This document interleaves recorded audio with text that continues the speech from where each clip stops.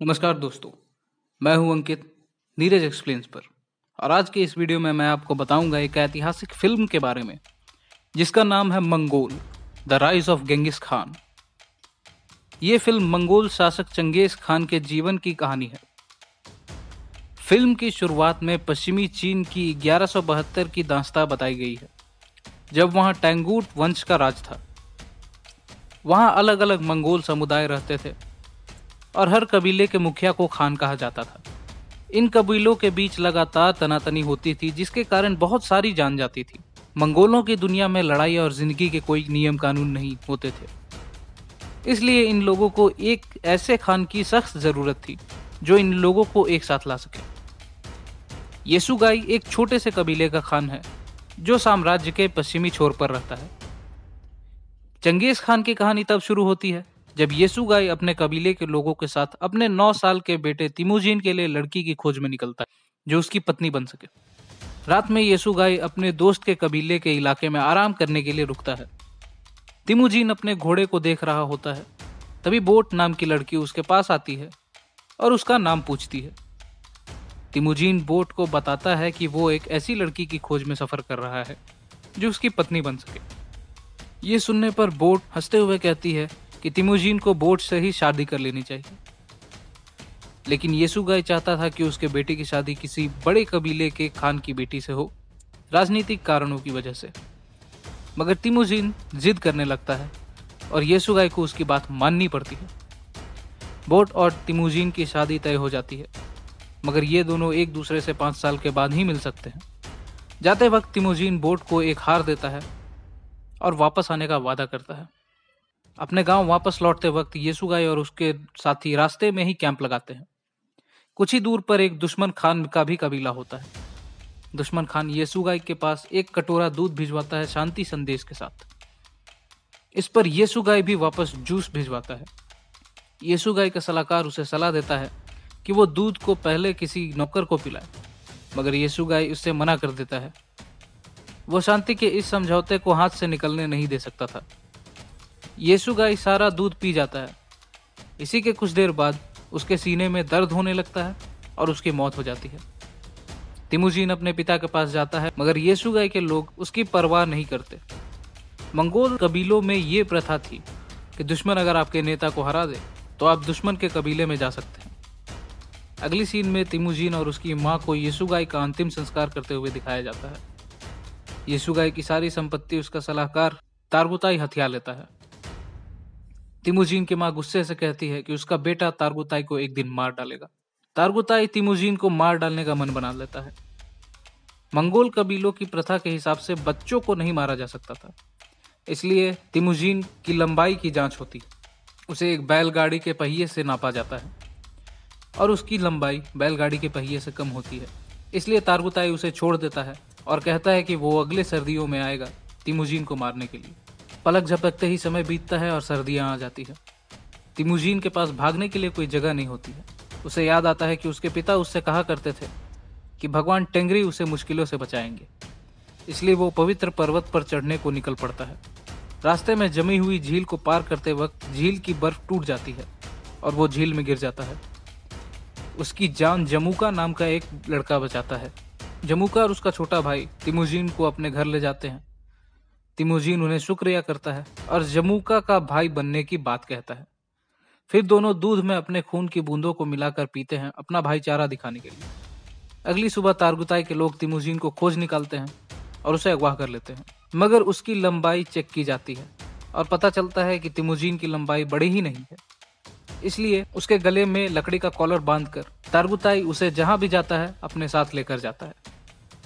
कुछ ही दिनों बाद एक बार फिर से तिमुजीन की लंबाई जाँच की जाती है और दोबारा पता चलता है कि वो बैलगाड़ी के पहिए से छोटा है।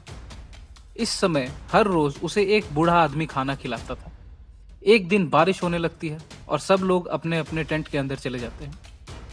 बूढ़ा आदमी मौका देखकर तिमुजीन को आज़ाद कर देता है और तिमुजीन वहाँ से भाग जाता है। भागते भागते वो तेंगरी के मंदिर में पहुँचता है और वहाँ उसे एक सफ़ेद रंग का भेड़िया दिखाई देता है। और अगली ही सीन में उसके गले पर पड़ा लकड़ी का कॉलर टूट जाता है और वो गिर जाता है। अब सीन बदलता है और ग्यारह का समय आता है। तिमोजीन बड़ा हो चुका है और अब भी वो तारगुताई से भाग रहा होता है। लेकिन एक बार फिर से तारगुताई के लोग उसे पकड़ लेते हैं और इस बार उसकी लंबाई बढ़ चुकी है तो वो भाग भी नहीं सकता। मगर इस बार भी उसकी किस्मत अच्छी होती है और तारगुताई उसे मारता नहीं, बल्कि उसके गले में लकड़ी का पट्टा बाँध देता है और उसे अपने जान की भीख मांगने को कहता है। मगर तिमुजीन ऐसा नहीं करता। एक रात तारगुताई तिमुजीन के पास अकेले आता है, उसका मज़ाक उड़ाने को। तिमुजीन इसी मौके की तलाश में होता है और चालाकी से तारगुताई की हत्या कर कर भाग जाता है। अब तिमुजीन अपने कबीले को वापस लेने की तैयारी करना शुरू कर देता है। मगर उससे पहले वो बोर्त के पास जाता है, उससे मिलने के लिए। जब वो बोर्थ के कबीले पहुँचता है तो देखता है बोर्थ बड़ी हो चुकी है और बोर्थ उसे बताती है कि वो उसका इंतज़ार सालों से कर रही थी। इसके बाद बोर्थ और तिमुजीन अपनी माँ के घर जाते हैं और दोनों का स्वागत किया जाता है। दोनों कुछ साल साथ में रहते हैं, मगर एक दिन तिमुजीन के घर पर मेरकीत नाम के कबीले के द्वारा हमला कर दिया जाता है। ऐसा इसलिए क्योंकि तिमुजीन के पिता ने मेरकीत कबीले से ही उसकी माँ को अगवा किया था। तिमुजीन और बोर्थ घोड़े पर चढ़कर भागते रहते हैं मगर तिमुजीन के पीठ में एक तीर लग जाता है और बोट को अगवा कर लिया जाता है। तिमुजीन को पता है कि उसे उसकी पत्नी को छुड़ाना पड़ेगा, इसलिए वो जमूका के पास जाता है। जमूका अब तक बड़ा हो चुका होता है और खान बन चुका होता है। वो जमूखा से मदद माँगता है और जमूखा तैयार हो जाता है। लेकिन एक साल के बाद पलक झपकते ही एक साल बीत जाता है और तिमुजीन और जमूका मेरकीत कबीले पर हमला कर देते हैं। इस लड़ाई में काफ़ी जाना जाती हैं, लेकिन मेरकीत कबीले का नामो निशान मिटा दिया जाता है। तिमुजीन बोर्द को खोज निकालता है और वो उसे फिर से अपना लेता है। इसके अगले सीन में जश्न का समय होता है। जश्न के वक्त एक इंसान तिमुजीन से पूछने आता है कि युद्ध में जीती हुई चीज़ों का क्या करे। तिमुजीन जीती हुई चीज़ों का दस प्रतिशत रखकर बाकी सब कबीले के लोगों में बांट देने को कहता है। जमुका के भी दो लोग तिमुजीन के कबीले में आ जाते हैं। और जमुका को यह पसंद नहीं आता। इसके अगली सीन में तिमुजीन के कबीले से कोई घोड़ा चोरी कर रहा होता है और तिमुजीन के लोग उसे दौड़ाकर मार देते हैं। पता चलता है कि वो जमुका का छोटा भाई था। जमुका यह सब जानकर गुस्सा हो जाता है और तिमुजीन को मारने की कसम खाता है। कुछ दिनों बाद जमुका तिमुजीन के कबीले से लड़ने को आता है। तिमुजीन को पता होता है कि उसके पास ज़्यादा हथियार नहीं है और ना ही लोग। इसलिए वो औरतों और बच्चों को भेज देता है। और फिर तिमुजीन और उसके लोग लड़ाई को निकलते हैं। तिमुजीन ये लड़ाई हार जाता है, मगर फिर भी जमुका उसे मारता नहीं। वो उसे और उसके लोगों को दास बनाकर बेच देता है। इसके बाद तिमुजीन और उसके कबीले के लोगों को तेंगूत साम्राज्य के शहर ले जाया जाता है, जहाँ पर तिमुजीन को एक ऊँचे दर्जे का अमीर आदमी देखता है और खरीदने का मन बनाता है। मगर उसका सलाहकार एक बौद्ध भिक्षु ये कहता है कि तिमुजीन जैसे लोगों को दास बनाना अच्छी बात नहीं है। वो अमीर आदमी उसकी बात नहीं मानता। और तिमुजीन को खरीद कर एक पिंजड़े में रखता है, जहाँ पर लोग हर रोज उसका मज़ाक उड़ाते हैं।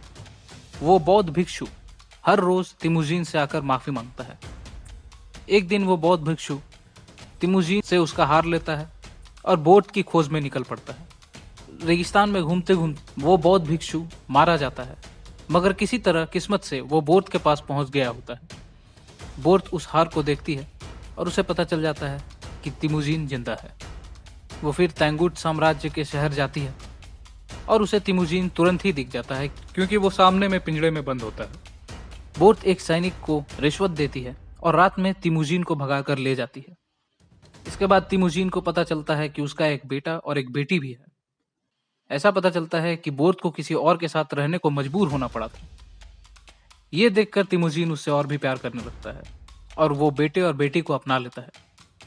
वो चारों अंत में गाँव जाते हैं और वहाँ रहने लगते हैं। तिमुजीन रोज अपने बच्चों के साथ खेलता है और मज़े करता है।